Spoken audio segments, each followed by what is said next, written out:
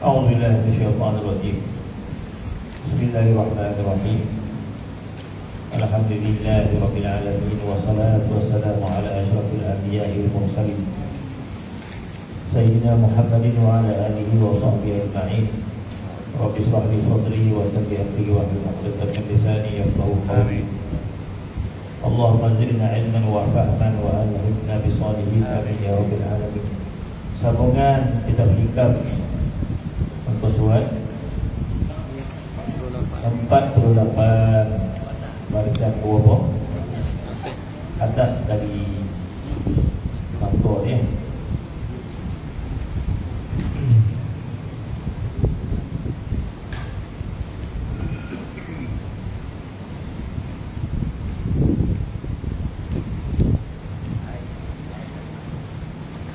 قال المؤلف رحمه الله ونفعنا بعلوم الدارين آمين Persen atas sekali Katanya Maka Sayugiyonyo Kita sayugiyonyo ha? Sudah Sayugiyonyo Maka sayugiyonyo Bagi murid itu bahawa Jangan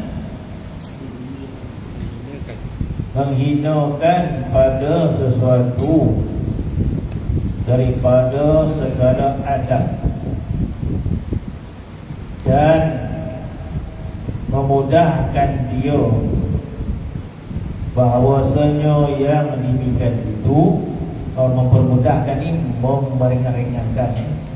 Ha, maksud eh, jangan menghina sesuatu adab apapun dan jangan memudahkan maksud jangan meremehkan. Jangan meremehkan dia. Jangan memudahkan dia jangan meremehkan dia. Bahawasanya yang demikian itu ha, termasuk kalau kita menghina adab-adab atau meringan-ringankan maka bahawasanya yang demikian itu daripada kejahilan. Jahil dan ketiadaan ma'rifatullah. Tidak ma'rifat seorang itu kepada Allah Subhanahu wa taala. Maka jikalau jatuh daripadanya jahat adab. Bermaksud jatuh ini berlaku. Jika berlaku kepada seorang itu tidak beradab. Jahat adab buruk adab maka hendaklah ada ia takut daripada demikian itu. Padahalnya membesarkan bagi amal membesarkan bagi amal amal ada dua maksud sama ada perintah ataupun perkara di dalamnya dan segeralah kepada taubat. Padahal membesarkan bagi amal bermaksud membesarkan perkara tidak beradab itu. Ha? Kemudian bersegeralah bersegeralah bertaubat daripadanya. Padahal takut bahawa berhadap kepadanya balasan daripada sekira-kira tiada tahu ia.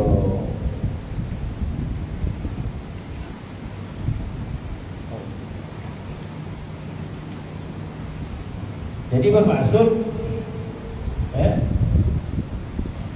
di antara kesempurnaan hubungan seseorang dengan Allah Subhanahu wa taala sentiasa berwaspada sentiasa bimbang sentiasa takut kita mungkin saja kita tidak beradab kepada Allah Subhanahu wa taala. Itu diumpamakan kalau kita itu diumpamakan umpama kita berkunjung ke istana. Diumpamakan kita berkunjung ke istana. Eh?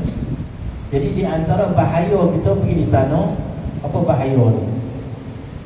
Di antara bahaya takut kita tak beradab. Ataupun kita salah adab Salah duduk Salah makan. Eh? Siapa berani makan sebelah yang tuan? Tak berani Tak tahu apa adab. Eh? Boleh tak kita, kita capai tu sebelum dia capai? Jadi pun kita capai dulu. Oh. Orang tengok ni tak beradab orang Jadi banyak eh? Banyak benda adab yang kita tak, tak pasti. Cara cakap salah dan sebagainya Kita saya pastilah Bila kita berada Dalam istana raja Apa perasaan kita Kita takut salah adab ha, Kan ada itu eh? Kalau jenis orang tak tahu pergi bahasa Di bahasa eh, Kau tak takut ke Tak ada hidra Kalau kau tak tahu bahasa dia tak takut apa, dia tak takut eh salah cara tu. Dia tak ya. Maksud orang tak takut. Tak takut dia salah adab dan tidak. Jadi bahaya. Eh? Maka yang terbaiknya orang yang berada dalam istana dia dah baca dah semua-semua peraturan adab tu dah baca dah. Cara bercakap, cara duduk dia dah baca dah. Tapi dalam masa sama dia masih imbang takut-takut tersalah. Ada tak salah tadi? Ada. Eh? Dia masuk orang-orang yang sangat teliti pada tiga alat dia untuk bermahalan dengan laju. Takut salah. Ya? Dia raja manusia, dia tak tahu apa yang ada dalam kita. Ya? Raja manusia dia tak tahu ada ada parti dia tak tahu. Kita hormat dia, kita bimbang pada dia. Tak tahu kecuali dia memperhatikan nanti apa yang kamu. Mau beratkan orang itu. Dan kata begitu saja dia tak tahu.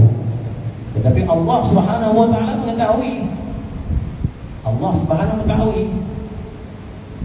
Jadi Allah Subhanahu wa taala mengetahui kalau kita ni seorang hamba yang senantiasa bimbang, takut, tidak adab dengan Allah Subhanahu wa taala. Tuhan tahu. Tuhan tahu dengan hati kita. Eh? Kita cuba bermuamalah dengan Allah Taala dengan sebaik-baiknya dalam bersama kita bimbang ada salah lah apa dengan Allah Subhanahu wa taala perasaan bimbang terhadap Allah salah adab itu adalah adab ya? Bahkan kita zahirkan dengan istighfar lagi. Ya? sebab itu selepas salat kita istighfar. Selepas salat kita istighfar kita kan bukan bermaksiat kita bukan mencuri, mencuri kita salat tapi kita istighfar sebagai luar kita bimbang. Ya Allah dalam solat tadi banyak yang kita berada Hati kita keluar masuk dan sebagainya. Ya? Uh, jadi kita bimbang kita tidak beradab ketika solat maka selepas solat kita istighfar pada Allah Subhanahu Wa Taala. Maka termasuklah kita dia terhamba yang beradab. Allah Subhanahu Wa Taala mengetahui kelemahan kita. Ya? Jadi kita dah berusaha ya Allah, aku dah berusaha sesungguh-sungguh ni ya Allah. Tapi Nabi macam mana Dalam solat tetap hati kita merayau-rayau Dan kita tahu kita tidak beradab dengan Allah Subhanahu Wa Taala, Maka kita beristighfar kepada Allah Subhanahu Wa Taala. Maka Perkataan ini adalah sambungan daripada Kata-kata hikam yang sebelum ini Bahawasanya kata-kata hikam seperti ini dia mengatakan bahawa kadang-kadang kadang-kadang waqad yaqta'u al-madad waqad yaqta'u al-madad. Kadang-kadang pertolongan daripada Allah Taala itu terputus. Kadang-kadang pertolongan daripada Allah Taala itu terputus. Jadi putusnya putusnya madad ini telah sebut itulah maksud madad pada bahasa pertolongan maksud madad pada istilah tasawuf adalah lempahan kerohanian. Dalam tasawuf bila masuk madad itu lempahan kerohanian. Lebih betul kerohanian. Ada pun madad pada sudut bahasa semua Tuhan bagi kita rezeki Tuhan bagi kita kesehatan Allah Subhanahu wa taala bagi kita harta. Itu madat pada sudut bahasa. Setiap pertolongan daripada Allah nama dia madat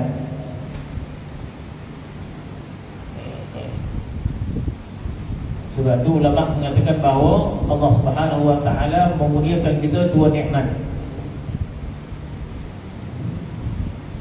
Saat dan ketika ini Allah Subhanahu Wa Taala kurniakan kita dua nikmat. Satu nikmatul ijad, satu nikmatul imdad. Imdad, imdad madad mana yang sama. Jadi saat dan ketika ini Allah Taala kurniakan kita dua nikmat. Satu nikmatul ijad.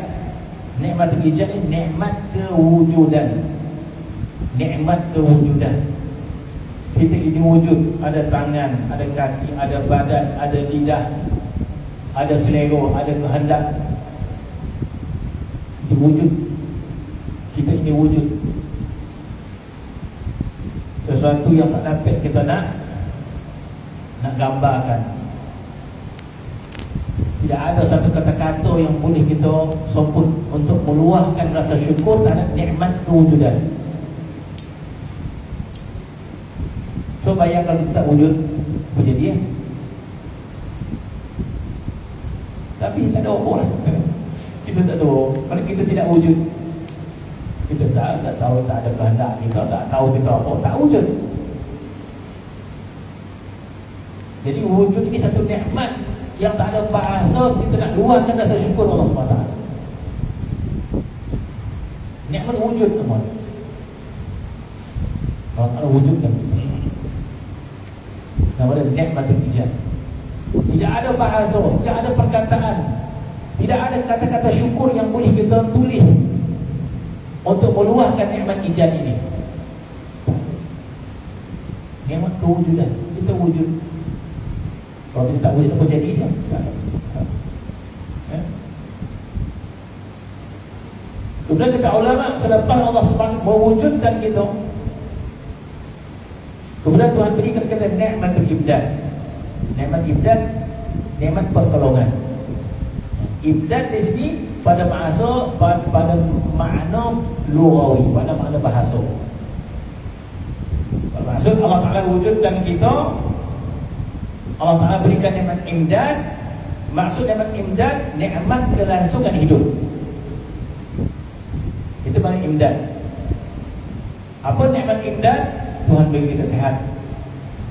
Tuhan beri kita bernafis Tuhan beri kita harta. Tuhan kita bagi duit dan sebagainya Untuk meneruskan kelangsungan hidup Nama dia imdad.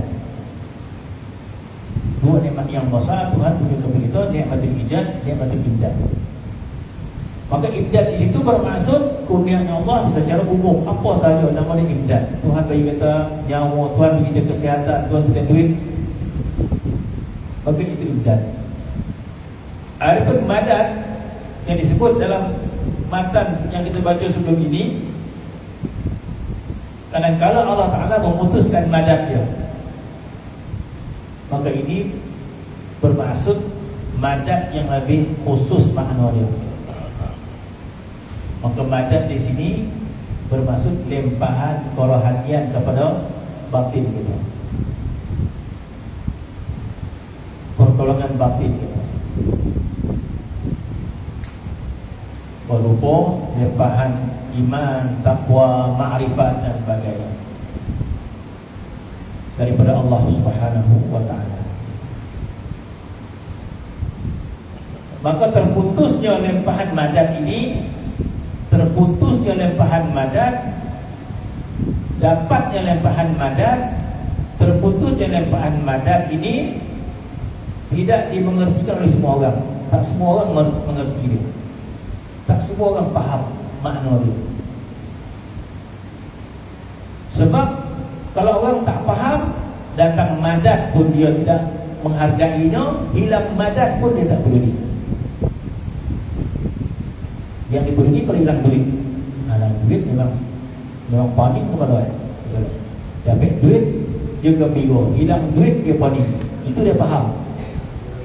Ha? ada selera dia gembira selera dia hilang ah, parah parah parah. Apa tak selera lah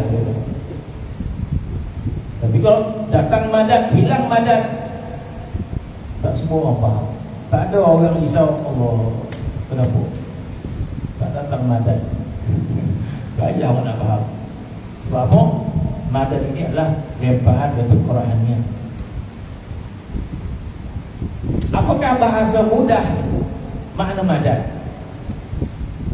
Bahasa mudah makna madat Kita tidak rasa bahagia dengan Allah Subhanahu Wa Taala. Itu maksud madat kita terputus Bila ada datang suatu lempahan madat kepada seseorang kecuali dia merasa lazat dengan Allah Subhanahu wa taala, dia merasa cinta kepada Allah Subhanahu wa taala, hati dia tertarik kepada Allah Subhanahu wa taala, hati dia gembira kepada Allah Subhanahu wa taala. Itu maksud madat.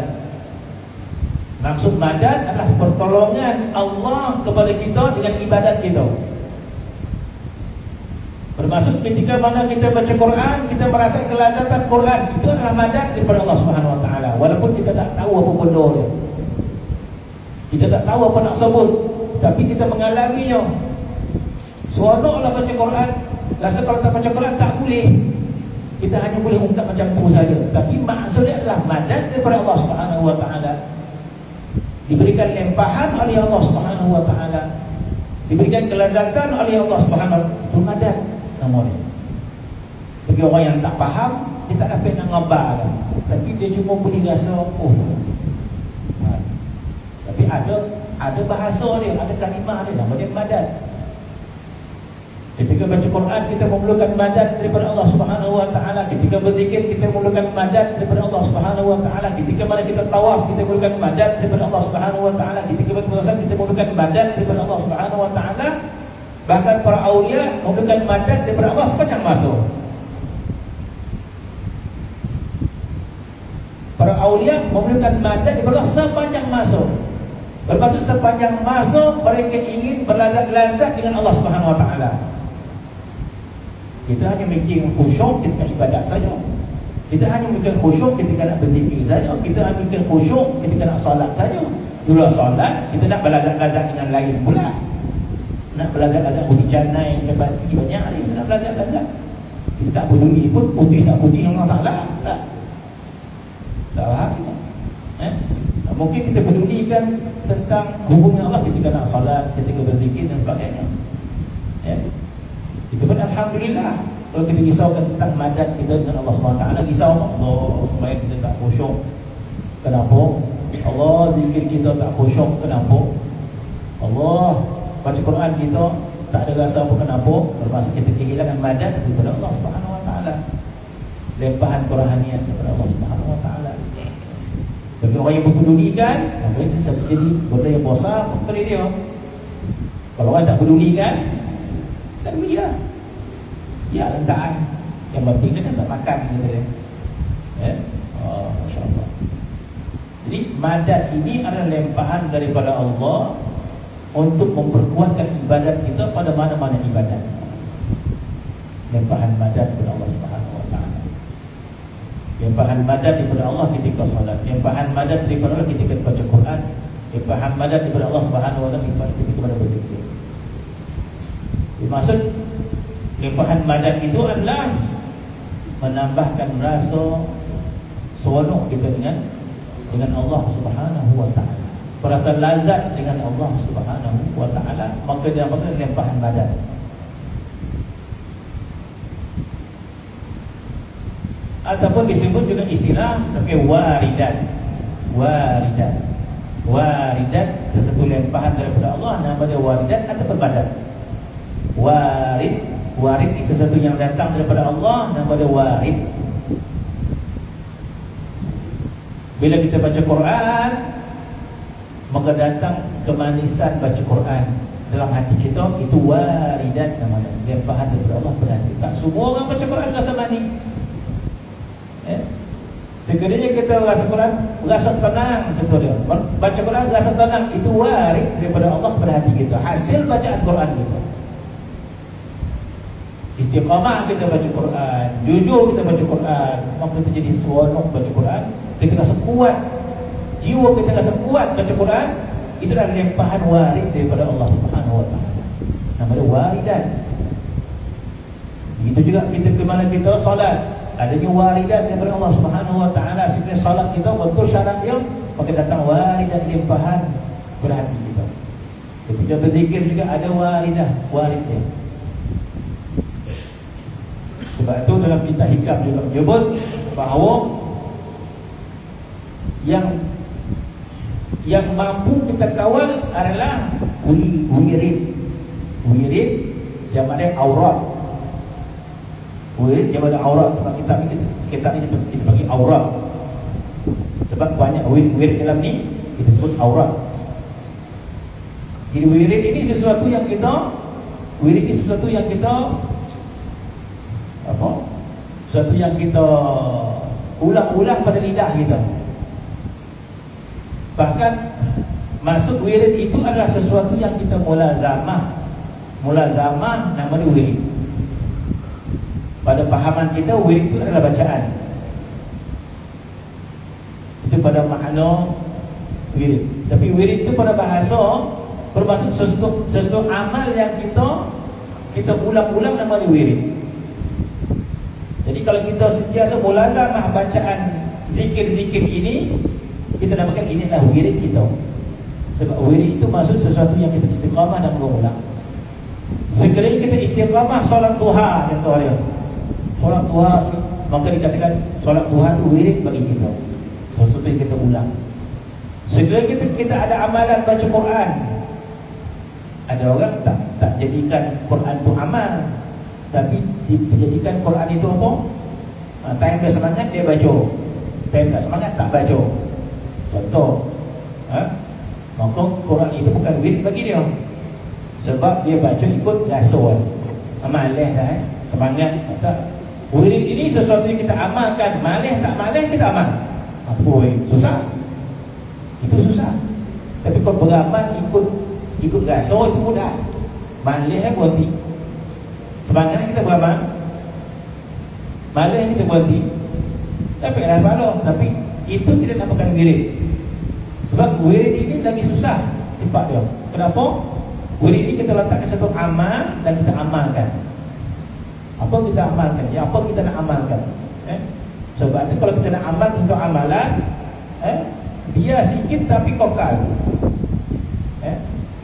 Sebab itu Nabi mengatakan Inna ahabbal a'mal ilallah adwamuha Sekasih-kasih amal bagi Allah yang kekal Wa in qalla Walaupun sedikit sebab istiqamah dengan amal itu susah Dan tinggi nilai di Allah Ta'ala Itu berdasarkan hadis Nabi Inna ahabban a'mal ila Allah adwa Sekasih-kasih amalan bagi Allah yang paling kekal Walaupun sedikit. Bermaksud lebih awdal Orang yang baca salawat. Contohnya pagi 10 potang 10 Kekal. Daripada orang sekali semangat Khatam dari khairat Lepas tu letak 3 bulan. Lepas tu beramal balik. Banyak sekali beramal ha? Sekali beramal Seribu. Dah latih tu muak lagi so, 3 bulan berhenti. Mana sekali semak Mana dapat pahala lah Dia orang tak beramal. Tetapi yang paling Tuhan suka Yang istiqamah walaupun sedikit Kenapa? Sebab istiqamah ni Dia tak ikut rasa kita Istiqamah ni malih tak malih kalau boleh. Eh? Itu maksud dia. Wirid Jadi wirid ni sesuatu yang kita jadikan amal kita Hatta kalau kita suka bersedakah Nampak orang-orang setiap subuh Pergi sedakah, dua subuh Sedakah, sedakah ha? Itu Allah sebenarnya baik ya? Padahal sebaik jadi wirid kita Wirid kita adalah sedakah Sepusin, sepusin, sepusin ya, bersingit, singit, singit. Mungkin jadilah wirid kita sedekah. Wirid kita baca Quran, sagi buku juzuk, jadilah wirid kita. Maka wirid ini jamaah ni aurat. Ya. Jadi kalau kita baca hizib juga wirid sebab kita amal. Mari kita jadikan wirid ini seminggu sekali kita baca. Maka jadi wirid tadi. Eh? Kalau kita baca seminggu sekali, ahad kita baca, ahad kita baca. Mungkin jadilah wirid mingguan. Ha, tidak ada wirid mingguan, ada wirid harian.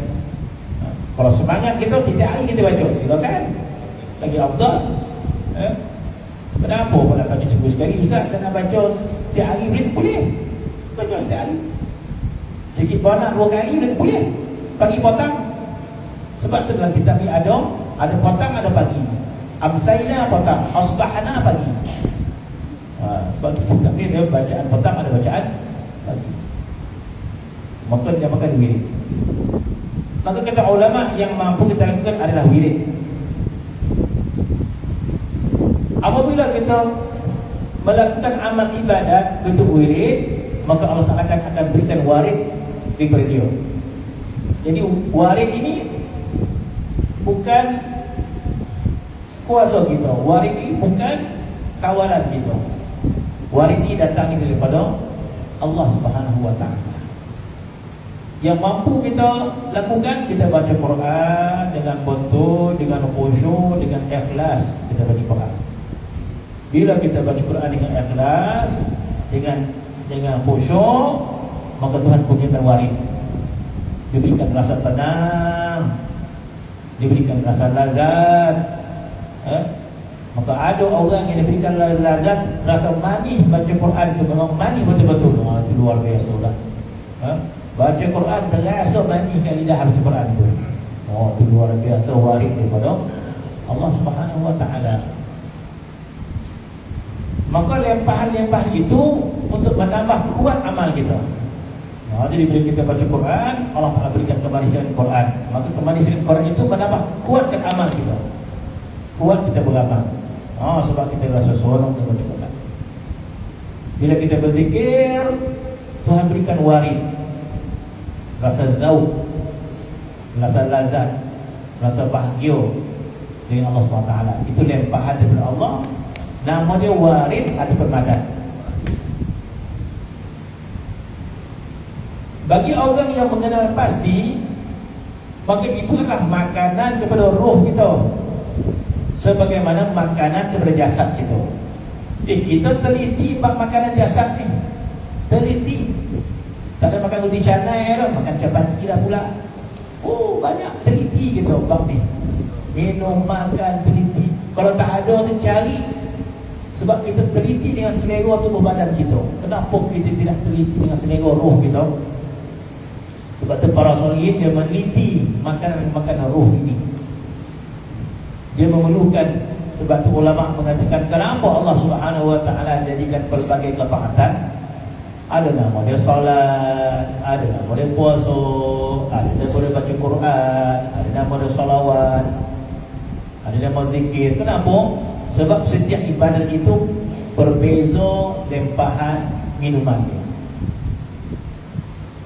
Sebab itu kata bagi ahli azwaq, bagi ahli azwaq, bagi orang yang ada zauq jiwa dan roh dia mereka akan diberikan berbeza zauq dalam amal ibadat. Termasuk merasai lazat salat itu tak sama bila kita merasai uh, baca Quran. Tidak sama lazatnya ketika mana kita berpuasa. Tidak sama lazat ketika tawaf. Tidak sama lazat ketika kita salawat. Maka kita itu diberikan madan dan faham. Pertolongan kepada Allah Subhanahu wa taala. Makanan dan juga dan minuman. Jadi orang-orang yang soleh mereka sangat berhajat pada madan itu. Macam kita makan Kita berhajat. Oh tak boleh. Kono ada teh Tak ada teh dah boleh. Ha, Kono lah maknya buat teh lah Ah, kita kata Contoh. Begitu juga Madat ini. Para solid ini memerlukan dia. Eh? Dan bila tak datang madat Mereka risau. Kita ada risau? Tak ada kita risau. Eh? Tak ada kita risau tentang madat ni. Eh? Tak ada kita risau tentang Natijah amal tu kita risau. Ha? Kita jadi Pulang di situ lah Pokok di situ lah. Ya. Ada, ada, tak ada Ya, ya, tak ya ha, Kita pokok situ. Obat tu kita pokok di situ Obat makan jangan. Jangan Ambil kuih dia tukar Gitu Eh, tukar kuih dia Pada ambil rasa Ngeceh kita, cari wet gitu tak mau kita makan tak sadar tak sadar dah. Makan, dia lah dikonnya. Eh, tak ada. Eh, tak mana kucing dia ambil eh. Bali betul, tompah betul. Nio tu, nio inti betul. Tak ada nio besok. Eh, deceh betul kita nak makan. Eh, jangan, jangan, jangan. Eh, oh, yang itu kita beri-beri betul. Tapi selera yang roh kita, apa di situ lah eh. Ada, ada, tak ada, nak tak lah eh. Masya Allah. Eh? Sebab itu Hikam yang kita baca ini Kepada orang yang meneliti Madat-madat itu Jadi bila terputus madat Maka risau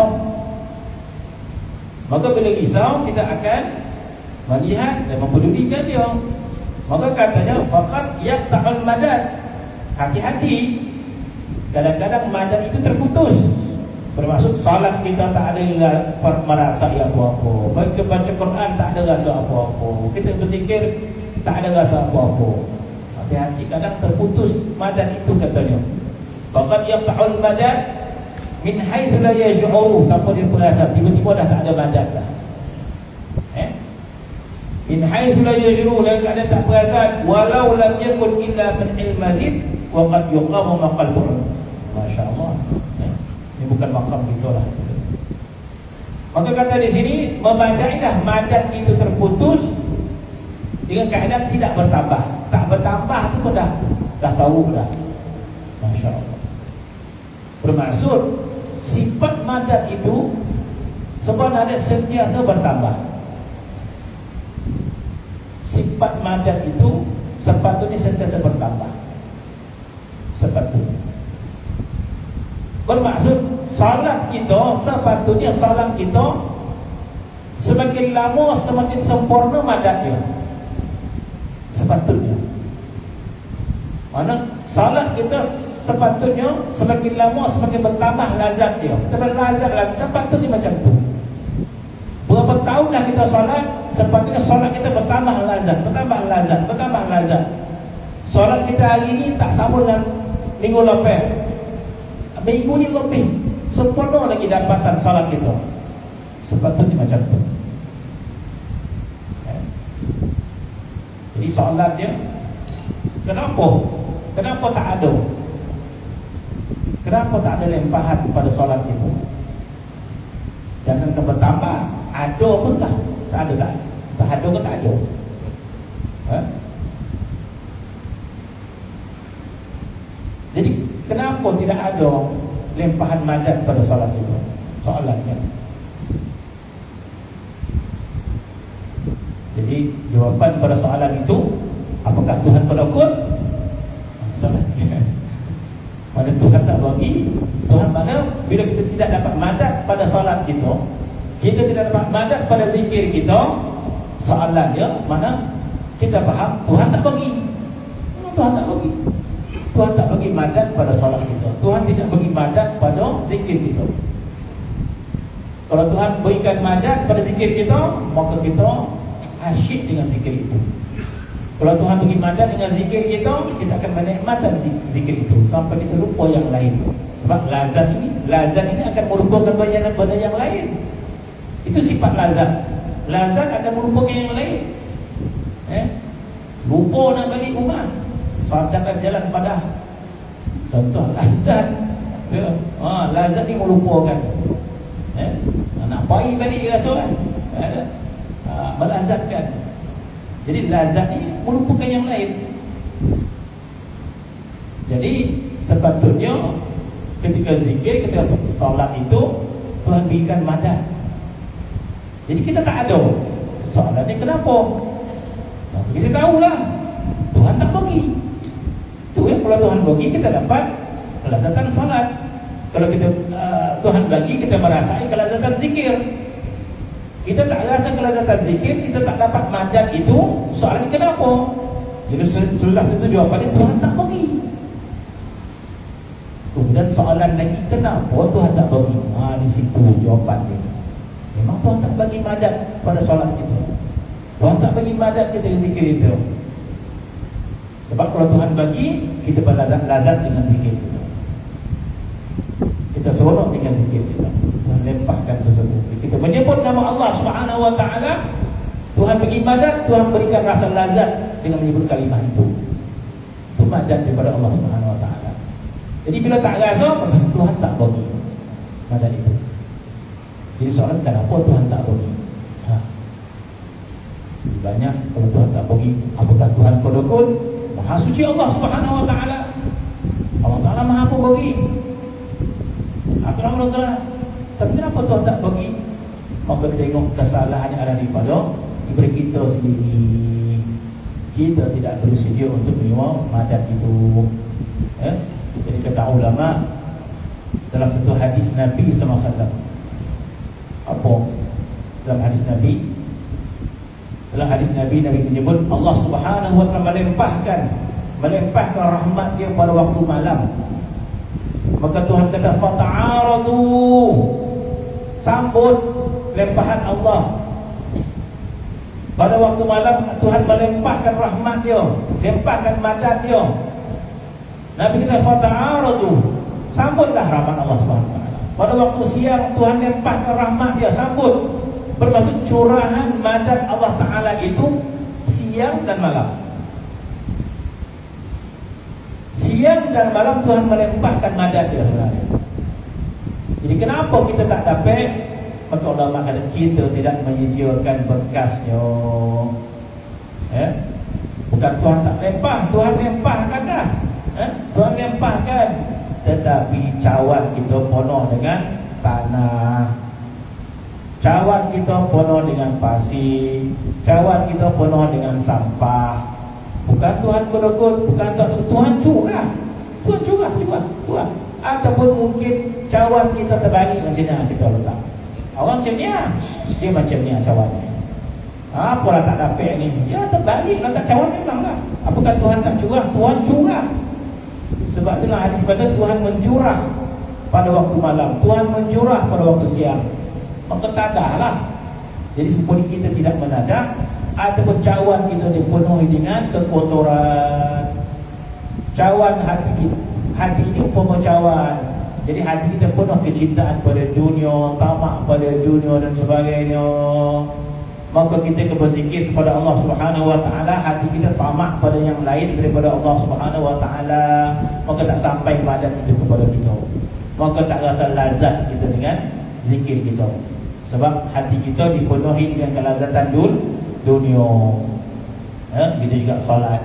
Oh bukanlah Tuhan kedekut tak? Tuhan dah curah dah. Kamu yang tak ada oh, maksud kita tak ada kita tak anda pun kita tak anda pencurahan rahmat Allah Subhanahu Wa Taala sebab kita lebih suka eh, mencintai yang lain daripada Allah Subhanahu Wa Taala. Eh? Maka sifat madan itu sepatutnya sentiasa bertambah, bertambah, bertambah, bertambah. Bertambahnya madan itu bila bertambah hati kita ini tazkiyah. Bila bertambah suci hati kita ini. Sebab itu dikatakan kadang-kadang madan itu terputus maka kita tak perasan kalaulah madat itu dapat tapi tidak bertambah maka cukuplah itu menggambarkan kita ini semakin jauh dari Allah SWT katanya masya-Allah eh? dalam keadaan kita tak perasan eh? dan kalaulah tidak ada sesuatu illa ayyukhallika wa matu ha kecuali Allah Subhanahu wa taala serahkan urusan kepada kepada kita ni panjang uh, dalam maksudnya. Eh? Ha, itu kata-kata hikam yang seperti ini. Ha, kita baca balik hikam itu ni. Ha, boleh mudah lagi sebenarnya. Ha.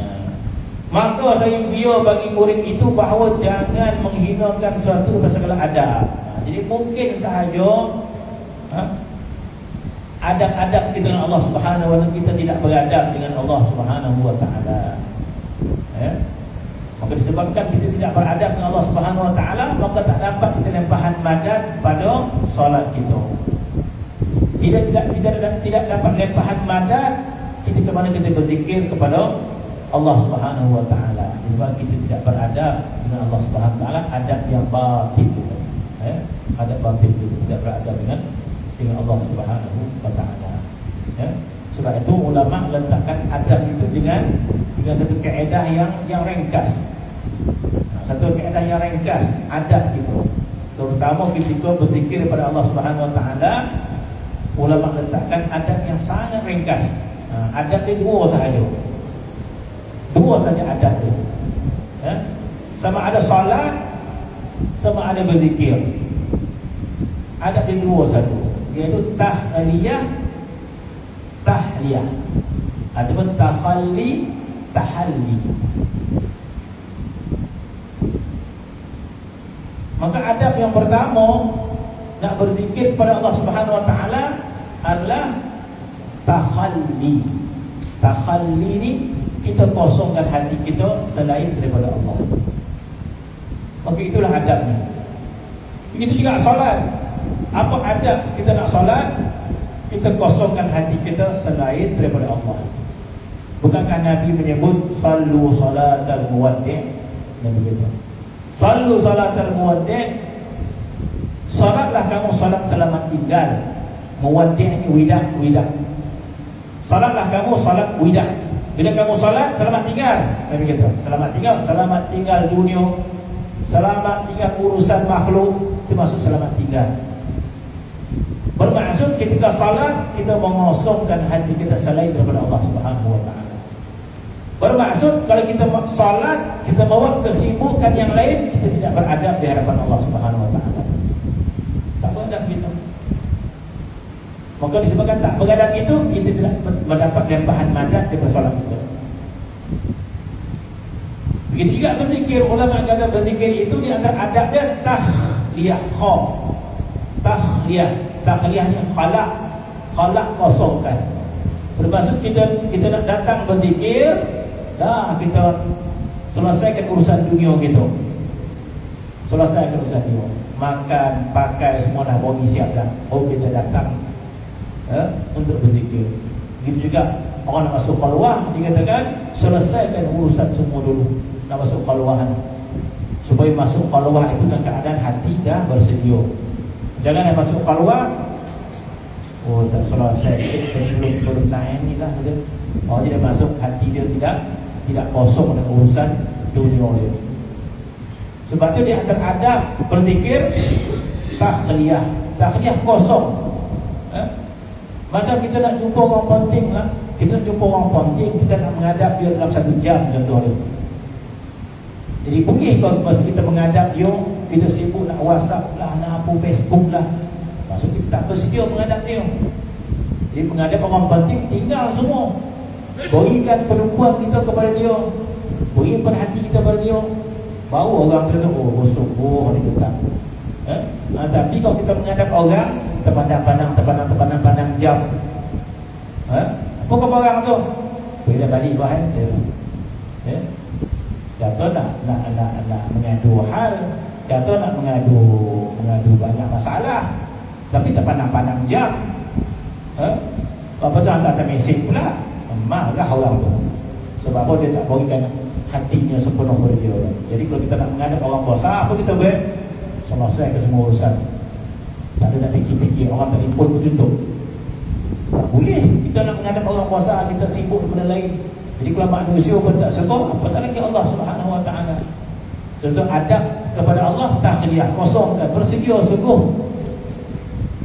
untuk menghadap Allah Subhanahu Wa Taala. Kemudian tahliyah ataupun tahalli. Sebab tahalli barulah kita isi sebutan kita kepada Allah Subhanahu Wa Taala. Bila hati kita dah kosong, kebimbangan kita pada makhluk, Barulah kita menyebut nama Allah Subhanahu Wa Taala dengan makna yang kita dah belajar dalam akidah. Nama Allah kita sebut itu Allah yang tidak baqa mukhalaf terhawali qiyamu bi nafsi. Tuhan itu wahdaniyah, Tuhan itu qudrah. Jadi kita menyebut nama Allah dengan akidah makna yang kita yang kita faham. Eh? Maka jadilah kata ulama kalau adab takliyah kita sempurna sebutan kalimah kita sempurna barulah datang tajalli nama dia tajalli sebab tajalli sama maksud maksud dengan warid sama maksud dengan madan sebab itu ulama kata at-takhalli summa tahalli summa tajalli hendaklah kosongkan hati kamu kemudian berzikir kepada Allah Subhanahu wa taala barulah datang yang bahan tajalli kepada hati kita dengan berbagai keadaan itu sebab itu dia kata hendaklah jangan kita memperlekehkan adab ya. Dan mempermudahkan. Maka itu orang yang jahil dan tiada makrifat kepada Allah Subhanahu Wa Taala. Maka hendaklah kalau kita tidak beradab kepada Allah Subhanahu Wa Taala, maka hendaklah kita istighfar. Dan kita pandang tu benda-benda itu benda besar, kesalahan yang besar gitu kan. Dengan Allah Subhanahu Wa Taala dan segala kita bertobat, segala kita beristighfar kepada Allah Subhanahu Wa Taala. Wallahu taala. Bismillahirrahmanirrahim.